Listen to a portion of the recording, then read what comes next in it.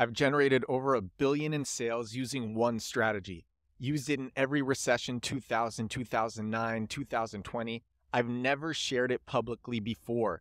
This thread might make you a millionaire. That's what I'm reading to you today on the podcast. If you are watching what you are seeing behind me, it is not a green screen background. I am sitting in this lovely garden in another luxury hotel out here in the European city that I'm in. And I was reading this thread this morning and I was loving this thread. I was loving it so much, I said, This is what I'm sharing today on the podcast. This is from Val Katayev. Val Katayev just built a building in the neighborhood in Brooklyn that I am from, and he's building another building in another neighborhood in Brooklyn, which I lived in for three years in Williamsburg in Brooklyn. Super successful guy, and I was just loving this thread so much. It validates a lot of the stuff that I say on the show and a lot of the stuff that I think myself. So, this is what he says During every recession, everyone cuts down on marketing. I jack up advertising spending and win the market. During boom periods, CMOs, chief marketing officers, take over and businesses play on offense. They focus on growth during these boom periods. During recessions, CFOs, chief financial officers, take over and businesses play on defense. They start to cut costs. When finance people smell a recession, the first thing they cut is marketing. Why? Marketing is generally the easiest thing to cut. It makes chief financial officers feel like they're making instant impact on profitability. This chart, and if you're watching, I'm showing the chart. This chart illustrates how businesses manage ad spend in the face of recessions. In 2009, the global economic pullback was just minus 0.7%, but advertising spending dropped a whopping 10.1%. So in 2009, the economic pullback was only negative 0.7%, but advertising spend dropped 10%.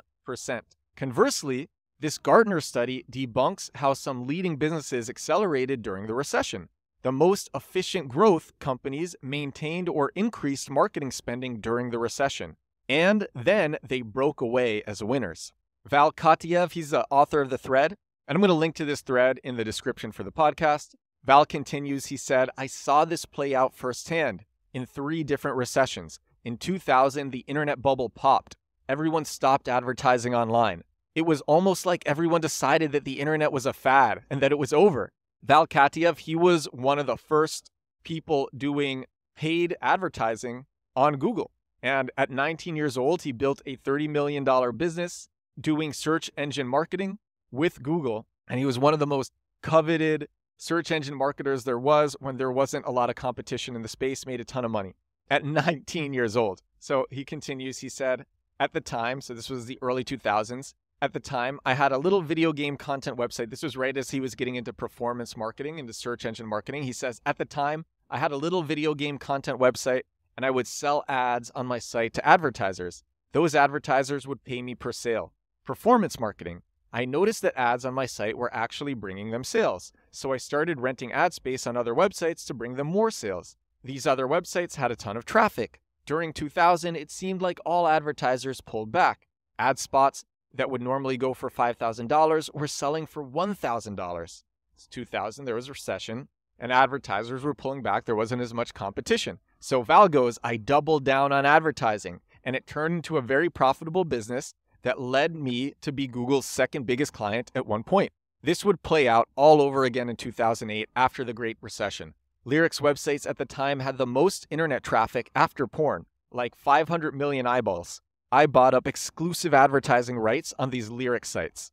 Thanks to the recession, locking in exclusive deals was easier. There was a lot of uncertainty at the time, and everyone was ready to take my money.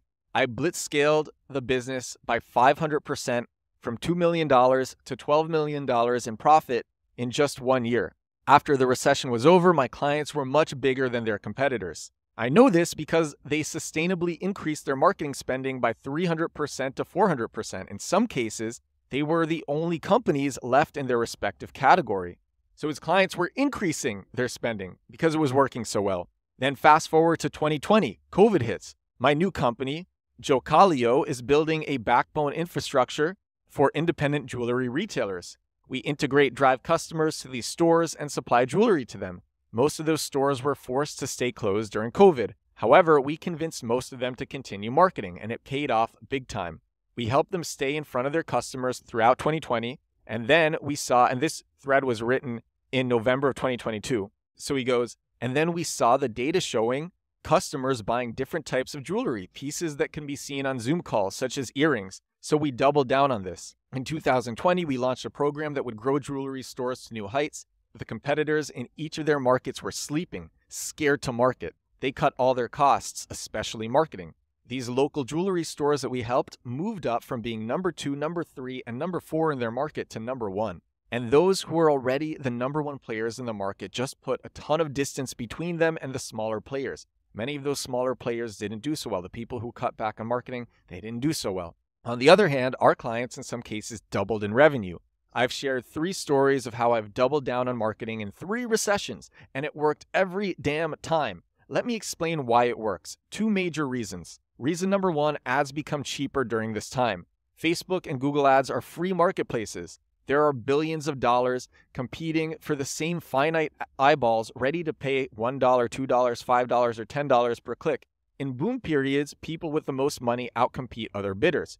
During recessions, marketing spends dry up and you get access to millions of eyeballs at a discount. Dollar for dollar, recessions are the most efficient periods to invest in ads. The key is to use those dollars effectively and adjust the messaging with the times. For example, 2020, Everyone sees your face on the Zoom call, so market earrings. 2022, people have less disposable income, but a big minority is still flush with cash. So our advertising makes our entry price points lower and top price points higher to capture both sides of the market. Reason number two ads become more effective. When competitors cut marketing, they stop reminding their customers about their existence. This is exactly when you want to figure out how to do more marketing, not less, because your share of the voice goes way up. This doesn't just apply with paid ads, this applies with organic as well. A lot of what I share on this show, on this podcast, is about organic marketing. It's not paid marketing. Not that I have anything against paid marketing, I just genuinely love organic marketing. But the same principle applies. When competitors cut marketing, they stop reminding their customers about their existence. This is exactly when you want to figure out how to do more marketing, not less because your share of the voice goes up. You get more top of mind awareness. Instead of people thinking of their competitors, they are thinking of you. Say a customer was seeing 30 minutes of cookie ads in total, 10 minutes each from you and two other competitors. When your competitors drop their spend by 50%, the customer sees 10 minutes of ads from you and 5 minutes each from two businesses. Not only is that ad spot cheaper, but in the absence of competition, it's also more memorable. Before, 10 out of 30 minutes equals 33% of the share of voice. I love this so much. After 10 out of 20 minutes equals 50% of the share of voice, roughly 1.5 times the attention for no extra cost, just because you're continuing to advertise through a recession. Harvard Business Review covered several cases. Here's one.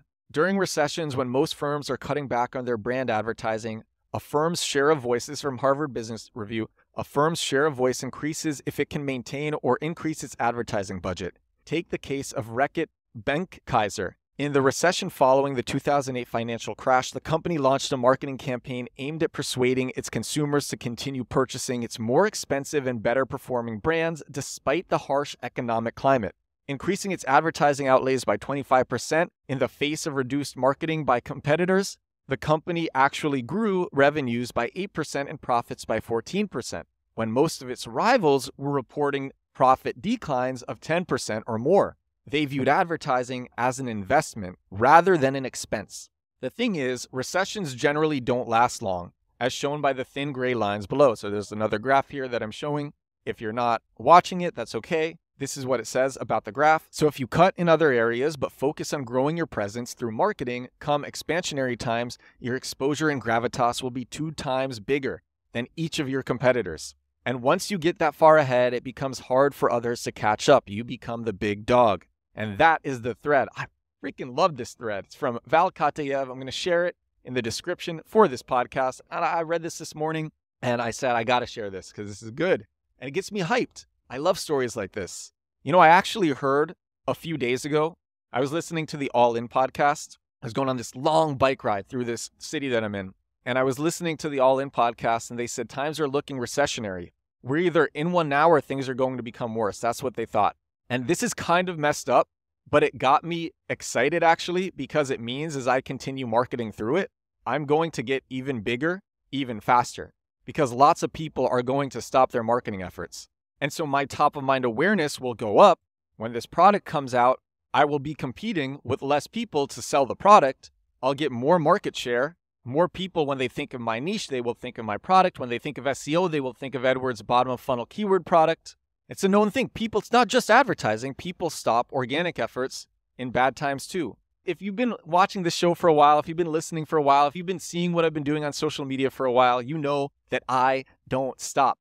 And I think that's a good time to end this episode of the podcast. This is episode 397 of my daily digital marketing podcast, which is really daily. I have done it now every day in a row for 397 days because, like I said, I don't stop, baby. I keep the party going. I have made a daily short form video, I think for now around 650 days in a row.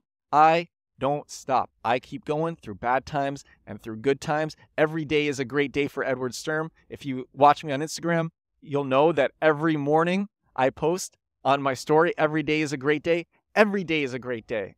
And I hope every day is a great day for you too, because I truly feel like every day really is a great day. Thank you so much for watching. Thank you so much for listening. Hope you enjoyed this one. I will talk to you again. I'm going to talk to you again tomorrow. Bye now.